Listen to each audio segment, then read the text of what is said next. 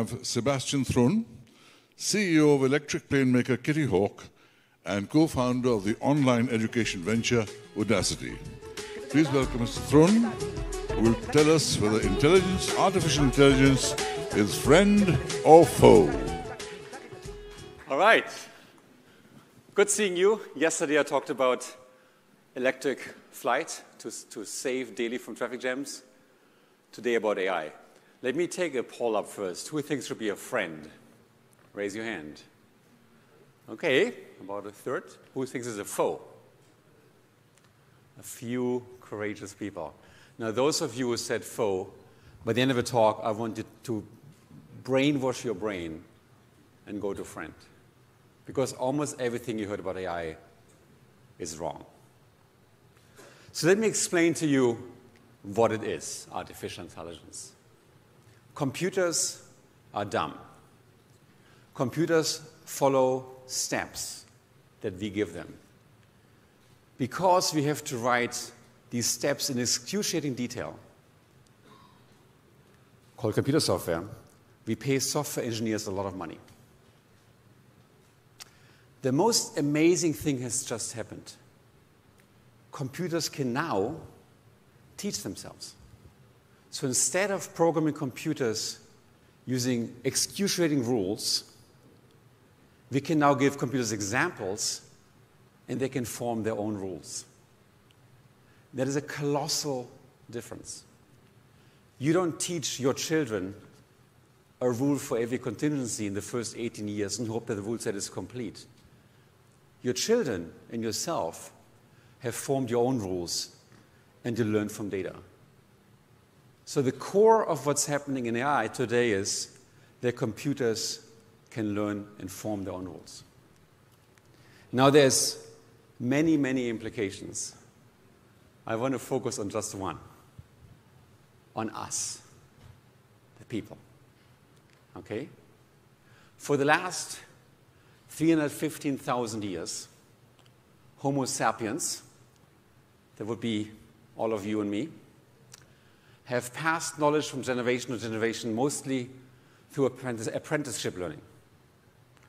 A young person walking, along, working alongside an older person, learning the skill of hunting, agriculture, and manipulating bronze and steel.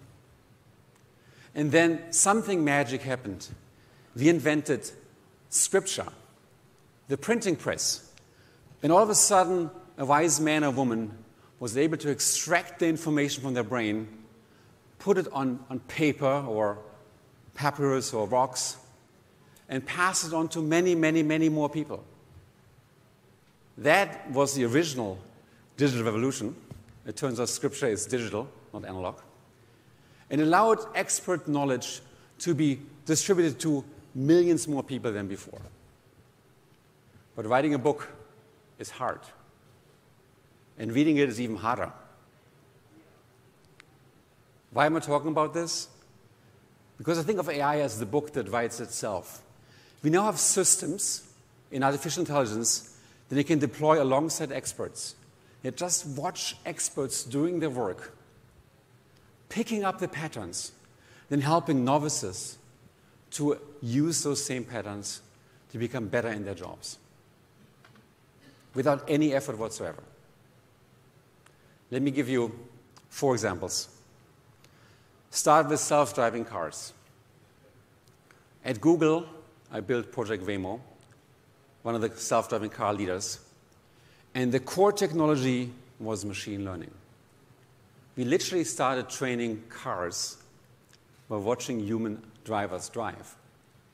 And now, after more than 10 million miles of machines watching people, the computers have become safer than human drivers by picking up the rules that make us drive safely. And I know what you're thinking, not in Delhi. I admit openly, it's harder here than in California. But just wait. Example two my students spun out a company called Cresta, which helps sales agents to become good sales agents. In sales, your top 80% revenue is produced by your top 20% best people. It takes years to become a good salesperson. Cresta is AI that sits in the corner, watches your salespeople interact in chat rooms with customers.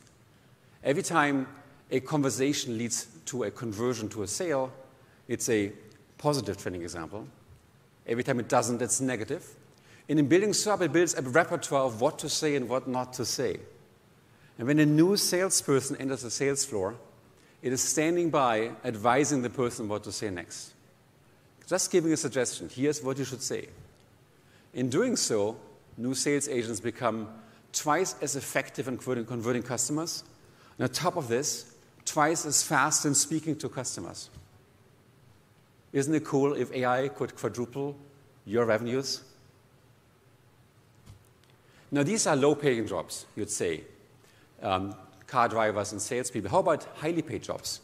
Let's pick a really highly paid job a human physician, a dermatologist. In America, there's only 10,000 dermatologists, and they're so important and rare that they make $450,000 a year.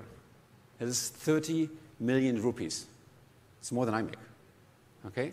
And what do they do? They become experts. It takes 15 years of training to be an expert to find your skin cancer and save your life. Two years ago, my students released a study, it was published in Nature, on using AI to replicate that skill inside a machine. We watched physicians with 129,000 examples diagnose skin conditions from rashes to acne to lesions, all the way to carcinomas and melanomas. And lo and behold, after training from those, learning from these physicians, an iPhone became as competent as the best human doctors in diagnosing skin cancer. We proved this. Okay? That means any nurse practitioner anywhere in the world can be as accurate in saving your life as the best Stanford level dermatologist.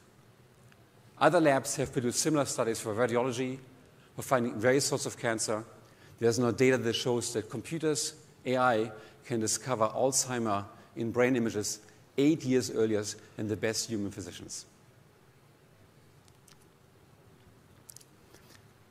I could go on and on and on with many other jobs. You could talk about accountants, about journalists. You could talk about investors, like many of you. In all these areas, there's no examples where AI systems can pick up skills from people and help novices to become experts on day one. Think about yourself. How much time you spent to become experts? How many mistakes you've made? How you refined your skills? Wouldn't you want a piece of AI that could watch you and give the same wisdom to your children? So when they enter the workforce, they're as wise as you have become? Now, many have argued this technology is dangerous. It will enslave us. It has to be regulated. Now, for one, the most famous examples of these people arguing aren't even computer scientists. But leaving this aside, this is further from the truth you can imagine. This is a tool. It's a tool like a shovel, like a kitchen knife. And while shovels and kitchen knives can be abused, the potential of AI is enormous. It is not made to replace people. India is a very populous nation. There is no need to replace people in this country. It is made to augment people. It's meant to give us superpowers the same way my cell phone gives me superpowers in letting me talk to people thousands of miles away, or my plane gives me superpowers to make me swim, swim across an ocean in, in minutes. AI gives me the superpower to be expert on day one. Now, let's talk about India. How is India scoring in the battle for AI? 50% of the funding for startups in AI comes from China, 40% United States. 10% everybody else. While I admired and adored the wonderful results that Prime Minister Modi presented this morning, you have work to do. Now, I started a company called Udacity that teaches students AI skills. And amazingly enough, the most active city in the world for us as an American company is Bangalore.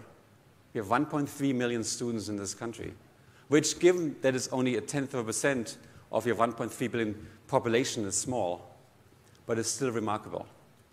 And you have companies that are incredibly forward looking. Infosys, Wipro, Flipkart, and many others have begun upskilling their workforce regularly using online uh, learning techniques to learn about AI. Now, you might walk away and say, well, Sebastian, sounds threatening, sounds exciting, not for us. AI, I've been told, is there to replace labor. We already live in a country with low wages. Let the Americans that pay way too much for their people go first, and we come second. But if you think about AI as turning all of us into experts on day one, then it ought to be right for India. Let me do one last test, show of hands before I stop. Who says foe? Thank you.